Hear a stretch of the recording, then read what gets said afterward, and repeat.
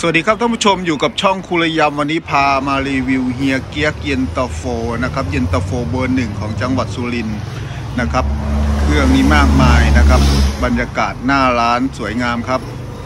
นะครับ มีเส้นให้เลือกมากมายนะครับ ข้างในมีเมนูให้เลือกเยอะแยะ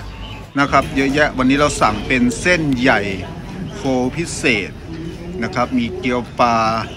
แน่นๆแน่นๆนะครับ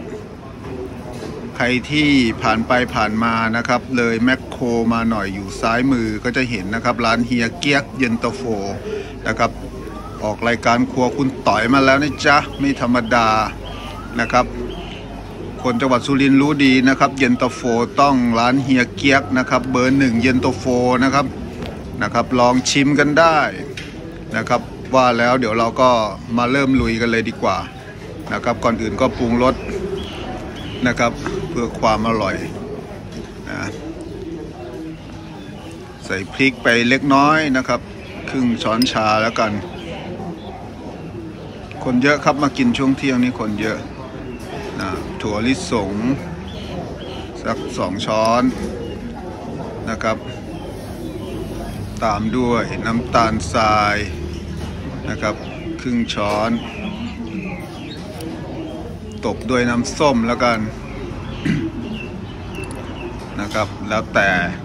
ใครชอบเผ็ดเปรี้ยวหวานก็ตามใจชอบนะครับ ร้านเฮียเกียกเย็นตาโฟนะครับยังมีข้าวหมูแดงที่เด็ดอีกนะครับ ข้าวหมูแดงหมูกรอบนี่ที่เด็ดเลยของร้านเฮียเฮียเกียกนะครับพร้อมแล้วเราก็ลุยกันเลยแล้วกัน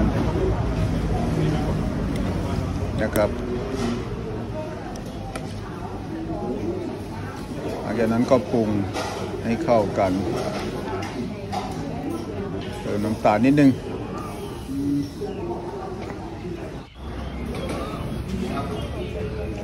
ฝากไว้ด้วยครับเฮียเกียกเกียนตอโฟนะครับ